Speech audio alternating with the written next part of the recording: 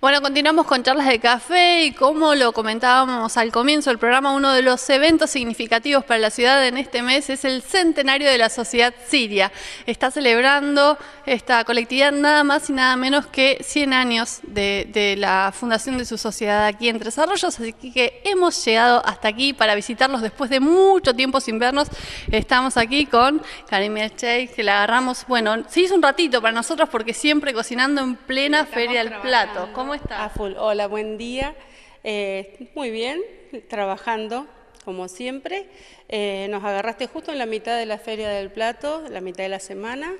Eh, y sí, acá esperando los 100 años, que lamentablemente no lo, no lo vamos a poder festejar este año. Me acuerdo cuando estábamos celebrando los 98, que yo te decía, qué poquito falta para los 100 y hablábamos de tirar la casa por la ventana. Bueno, a veces la vida nos cerraron no fue, la ventana. las vamos a volver a abrir. Las vamos a abrir si Dios quiere. Vamos a ver si el año que viene, si Dios quiere y los vientos corren a favor, eh, podemos hacer, festejar los 100. Muy bien.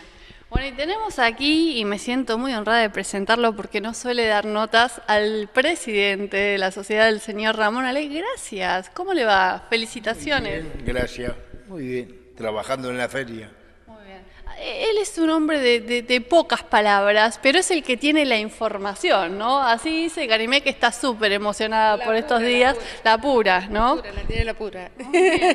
Bueno, y, 100 años de historia amerita un poco el recorrido de, lo que ha significado, de lo que significa para ustedes también contar con este espacio y con esta institución a la que me consta le ponen el alma y el cuerpo y que también han, rescatado después de mucho tiempo de estar eh, inactiva. ¿Cómo comienza esto, Ramón?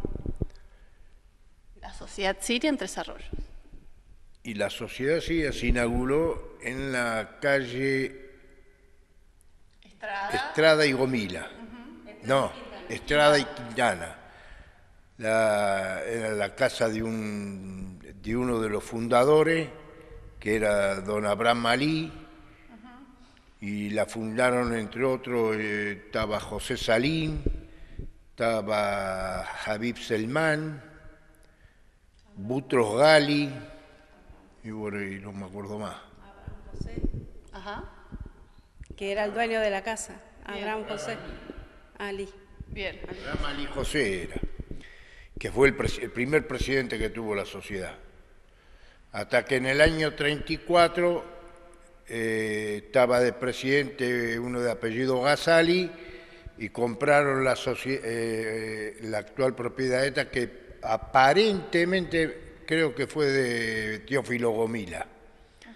Fue construida en el año 1886 y entre otros estaba el tesorero José Salín, no me acuerdo cuánto era que pagaron la propiedad. O sea que hace muchísimos años que esta es la sede oficial de la sociedad. Sí, y del año 34, lleva... Está también para cumplir los 100 la sede. 87 años. Muy bien, muy bien. ¿Y qué pasó en ese periodo en el que estuvo inactiva?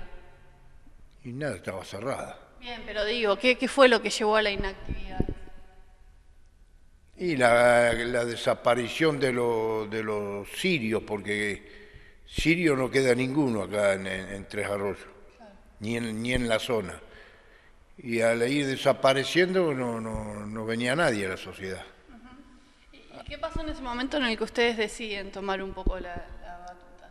Yo en realidad vine acá porque estaba abandonada, más para cortar el pasto, para que no se denunciaran los vecinos.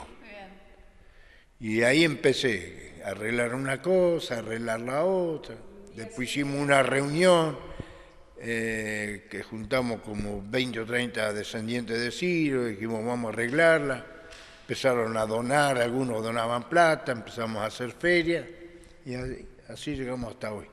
Muy bien. Bueno, es mucho lo que han logrado esto, desde el 2014, me decía. A fines del 2014.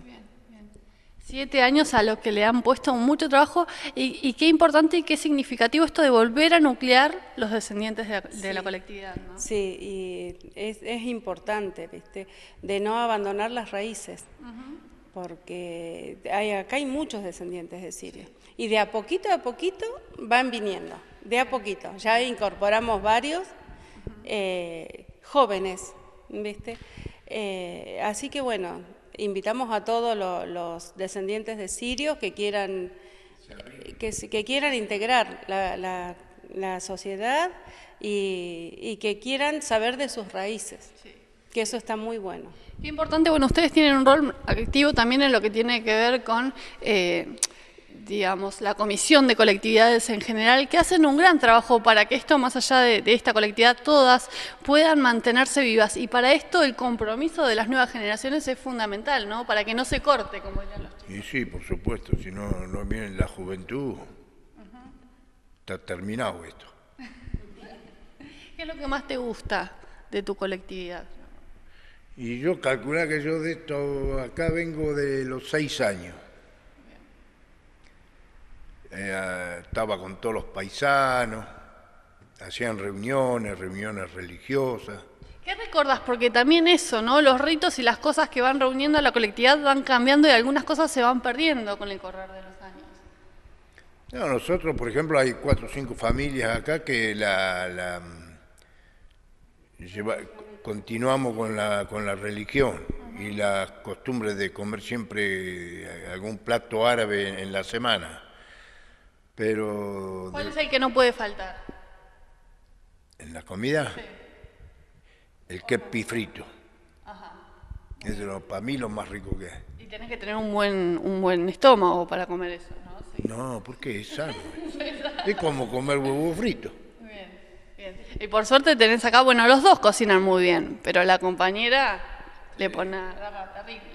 Y ella es la que hace las empanadas. Le preguntaba a Cari ayer precisamente, bueno, ¿cuántas empanadas haces por Feria del Plato? Que son prácticamente cada 15 días la Feria del Plato o una vez al mes. Es una vez al mes, la primera semana del mes. Bien. Y no sé, porque hay, hay meses que son 300, 400, a veces son 200, es según, porque vamos cocinando prácticamente todos los días. Sí. Para que esté fresquito. Y todas las, veces, todas las ediciones de la Feria del Plato se van con casi nada a sus casas. Y en las ferias del plato eh, todo, se vende todo. Todo, absolutamente todo, nunca nos queda nada. Y la comida, que es un acto tan cotidiano, ¿no? Tan, tan que tenemos incorporado y hasta de modo automático, es una de las maneras de mantener viva una mm, cultura y una colectividad, ¿no? Sí, sí, y, eso nos llena de orgullo. Y además, eh, la, gente, la gente te lo pide. Te pide, te pide en la calle que, bueno, ¿y cuándo hacemos la feria? Ahora están pidiendo fiestas, pero que siempre en, cada fiesta que hagamos sea la mayoría comida árabe, los platos típicos. Y no solamente vienen descendientes de esta colectividad, digamos. No, no, vienen de todos, vienen de la zona. Por ejemplo, a la feria tenemos gente de Chávez, eh, ha venido gente que pasó por la ruta, y bueno, vino una vez, y bueno, vienen de Bahía, por ejemplo, a eh, se hacen ese eso eso mm, tiempo ese tiempo para venir hasta, para venir y se estoquean hasta el mes siguiente viste Cari, bueno, tenemos aquí dos alfombras también que, elegiste como representación símbolo también de la mm. colectividad, ¿no? Sí, pues son las alfombras de rezo. Ajá. Nosotros rezamos en, alfombra, ¿viste? Y bueno. ¿Y tienen esto en sus casas y es, es, es un acto cotidiano? Claro, se hace cinco rezos al día.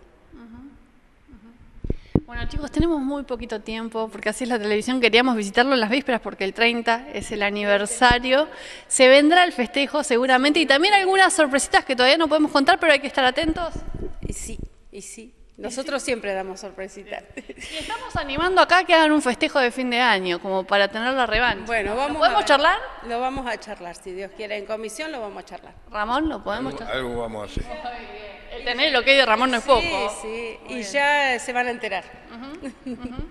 Bueno, muchísimas felicidades por estos 100 y que sean 100 más, Ramón, ¿te parece? ¿Quieres decirle algo a tu colectividad, a los que están del otro lado? No, que, que se arrimen a la sociedad, que no, que no pierdan sus raíces, que lamentablemente somos muy pocos. Si se acercaran, estaría mejor la sociedad, más, más activa. Y sobre todo mantenerla viva, ¿no? Y mantenerla. Mantener lo que le costó a nuestros abuelos. Totalmente, totalmente. Cari. Bueno, bueno, yo quiero agradecerle a toda la comunidad de Tres Arroyos que todos los años eh, nos siguen y todos los meses ahora, y son fieles a nosotros. Muchísimas gracias. A ustedes, gracias.